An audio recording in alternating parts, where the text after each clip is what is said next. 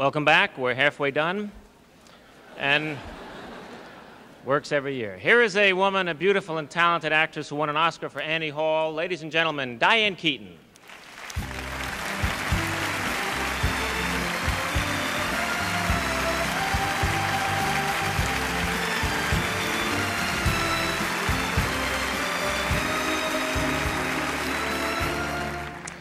Well, I, you know, The Crying Game is a love story about people who are frequently called deviant, people who live marginally, people who don't seem to pass the test of being labeled normal.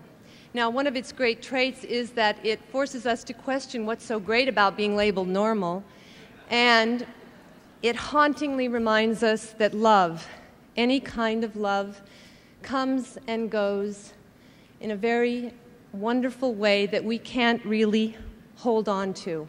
So, obviously, the crying game is an outsider. Nobody expected much from it, and I think it's very exciting that the Academy, the press, and the public did not overlook the fourth nominee for Best Picture, The Crying Game. Thanks. A Best Actor nominee escorts a former nominee for Best Supporting Actress, Robert Downey Jr. and Alfre Woodard.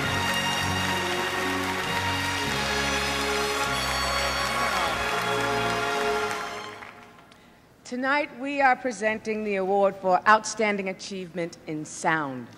You know, I find it kind of ironic that after spending a year playing the guy who was the king of silent films, that we're like presenting the award for sound. Like, kind of... Well, this year, the talking pictures seem to dominate the category, Robert. Oh.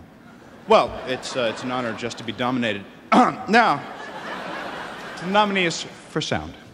And they are Terry Porter, Mel Metcalf, David J. Hudson, and Doc Kane for Aladdin. Kevin O'Connell, Rick Kline, and Bob Eber for A Few Good Men. Chris Jenkins, Doug Hemphill, Mark Smith, and Simon Kaye for The Last of the Mohicans. Don Mitchell, Frank A. Montano, Rick Hart, and Scott D. Smith for Under Siege. Les Fresholtz, Vern Poor, Dick Alexander, and Rob Young for Unforgiven. And the Oscar for sound goes to Chris Jenkins, Doug Hemphill, Mark Smith, and Simon Kaye for The Last of the Mohicans.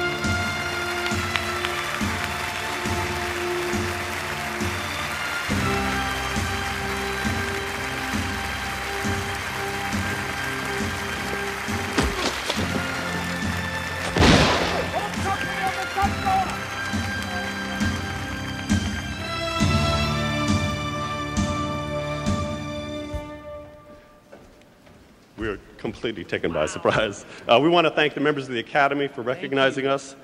Uh, it's a collective effort. We'd like to thank our partner Paul Massey, who's not here tonight, Lon Bender and his crew from Soundelux, our composers, uh, Randy, Trevor, Daniel Lenoir, and most of all, very importantly, Michael Mann, who has worked so hard, has given all of his efforts to really paying attention to the contribution sound can make to pictures. We're eternally grateful and would like to thank him personally. Thank you very much. Thank you.